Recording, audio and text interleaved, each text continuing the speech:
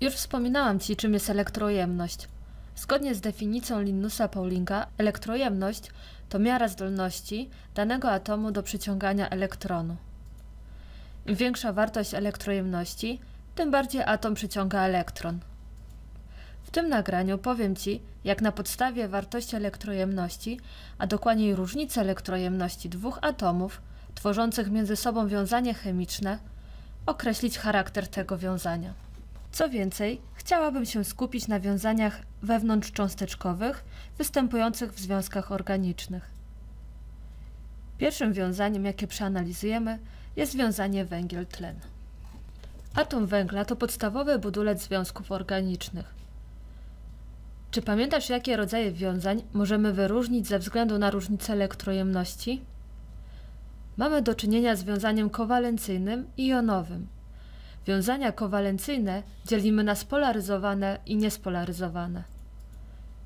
Często jako jeszcze jedną z odmian wiązań kowalencyjnych podaje się wiązanie koordynacyjne, inaczej nazywane wiązaniem akceptorowo-donorowym. W tym wiązaniu cała para elektronowa, jaka tworzy wiązanie, pochodzi od jednego atomu. Jeśli różnica elektrojemności jest większa niż 1,7, wtedy mamy do czynienia z wiązaniem jonowym. Jest to wiązanie, w którym jeden atom przekazuje elektron drugiemu atomowi, przez co mamy do czynienia z kationem i anionem, które oddziałują ze sobą elektrostatycznie.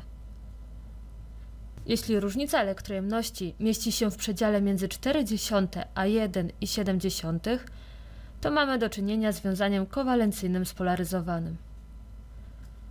Para elektronowa tworząca to wiązanie jest przesunięta w kierunku bardziej elektrojemnego atomu. Przez co na tym atomie tworzy się. Tak cząstkowy ładunek ujemny. Natomiast na atomie, od którego ta para jest odsunięta, powstaje cząstkowy ładunek dodatni. Ostatnim rodzajem wiązania jest wiązanie kowalencyjne niespolaryzowane. Inna nazwa to wiązanie atomowe. To wiązanie występuje, kiedy różnica elektrojemności wynosi od 0 do 0,4. W tym wiązaniu para elektronowa znajduje się w takiej samej odległości od obu atomów. Oczywiście podane tutaj zakresy są to tylko zakresy orientacyjne. Wróćmy do wiązania węgiel-tlen. Aby określić z jakim rodzajem wiązania mamy do czynienia, musimy najpierw obliczyć jaka jest różnica elektrojemności dla tych dwóch atomów. Elektrojemność atomu węgla wynosi 2,5, natomiast elektrojemność atomu tlenu wynosi 3,5.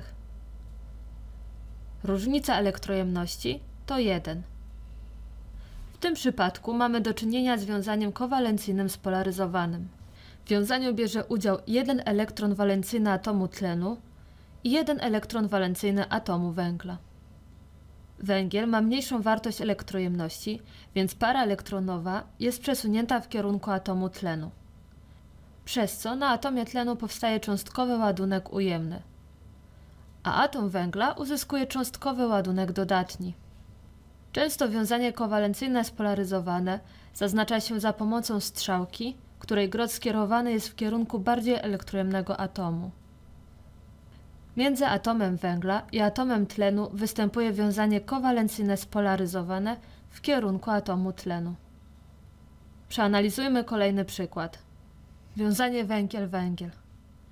Oba atomy węgla mają tą samą wartość elektrojemności, więc różnica elektrojemności wynosi 0. W takim razie między atomami węgla występuje wiązanie kowalencyjne niespolaryzowane. Para elektronowa w której każdy elektron pochodzi od jednego atomu węgla, nie jest przesunięta w kierunku żadnego z atomów. Kolejne wiązanie to wiązanie utworzone między atomem wodoru a atomem węgla. Takie wiązanie bardzo często występuje w związkach organicznych. Elektrojemność atomu węgla, jak już sprawdziliśmy, wynosi 2,5. Natomiast elektrojemność wodoru wynosi 2,1. Różnica elektrojemności to 0,4. Więc jesteśmy na granicy pomiędzy wiązaniem kowalencyjnym spolaryzowanym a kowalencyjnym niespolaryzowanym. Jednak w tym przypadku mamy do czynienia z wiązaniem kowalencyjnym niespolaryzowanym. Przejdźmy do ostatniego przykładu. Wiązanie węgiel-lit. Wartość elektrojemności węgla wynosi 2,5, natomiast litu 1. Różnica elektrojemności wynosi 1,5. Różnica elektrojemności podpowiada, że możemy mieć tutaj do czynienia z wiązaniem kowalencyjnym spolaryzowanym. Jednak warto wiedzieć, że wiązania metal plus niemetal mają zazwyczaj charakter jonowy. I tak jest w tym przypadku. Węgiel ma większą wartość elektrojemności niż lit. Dlatego węgiel przeciągnie elektron walencyjny litu do swojej powłoki walencyjnej, przez co atom litu zmieni się w kation, natomiast atom węgla będzie anionem. Zwróć uwagę, że w tym nagraniu mieliśmy dwa przypadki, które ukazały nam, że nie należy twardo trzymać się granic różnic elektrojemności zarezerwowanych dla poszczególnych rodzajów wiązań.